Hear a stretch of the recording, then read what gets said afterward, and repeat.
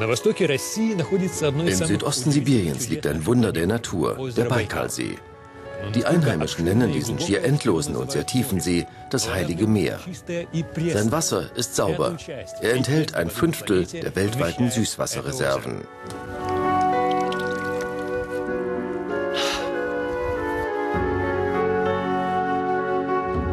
Der Baikal, die Perle Sibiriens, beherbergt tausende Tier- und Pflanzenarten, ein einmaliges Ökosystem.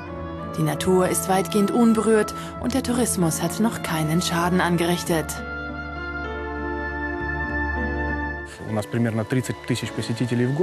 Jedes Jahr kommen rund 30.000 Besucher. Die meisten sind Extremtouristen, denn unsere Straßen und Hotels sind in einem nicht allzu guten Zustand. Doch jeder findet sein ganz persönliches Glück am Baikalsee. Manche kommen, um seine einzigartige Natur zu bewundern, andere wollen fischen oder sich mit ihrer Familie ausruhen. Und dann gibt es noch die Wissenschaftler. Jeder hat ein anderes Ziel.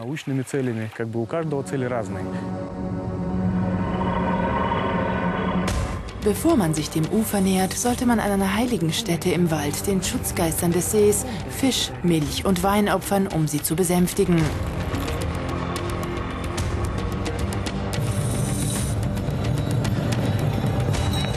Die Einheimischen, die Buryaten, pflegen ihre uralte Schamanenkultur.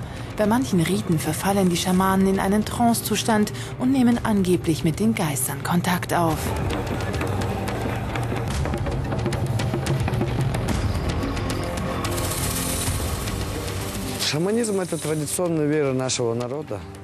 Schamanismus ist der traditionelle Glaube unseres Volkes, der Buryaten.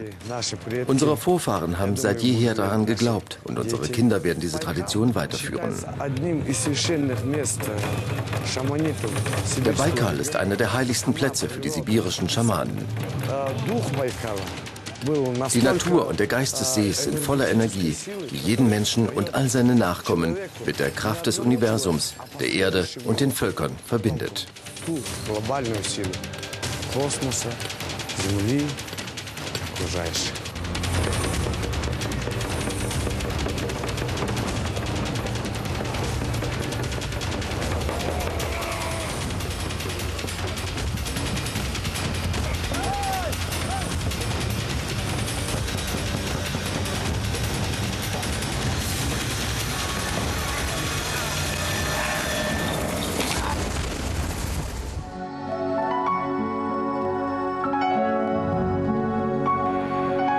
Das Heilige Meer ist etwa so groß wie Belgien und friert im Winter zu.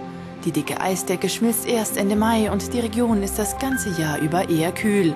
Perfekte Bedingungen für die Fauna und Flora Sibiriens.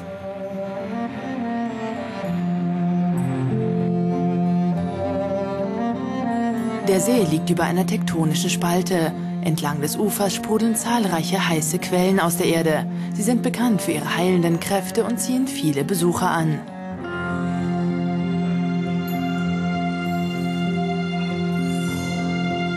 Die Stille dieses Ortes erinnert an den Buddhismus, einen Glauben, der hier weit verbreitet ist.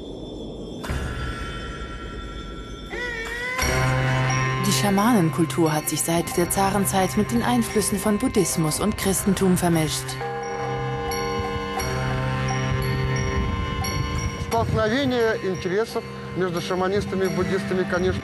Natürlich gibt es Interessenskonflikte zwischen den hohen Vertretern der Schamanen und der Buddhisten.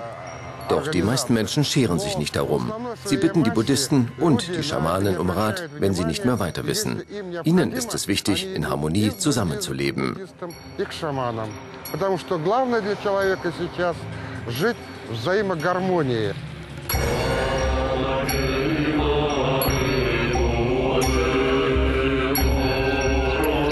Die Buddhisten verehren die unberührte Natur des Baikalsees und sind mit den Schamanen einer Meinung. Dieses einzigartige Meer ist heilig.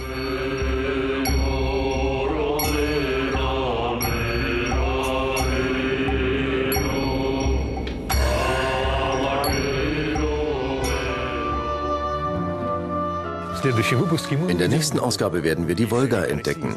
Der längste Fluss Europas ist Teil der russischen Geschichte und Kultur. Eine Reise auf der Wolga in zwei Wochen in Russian Life.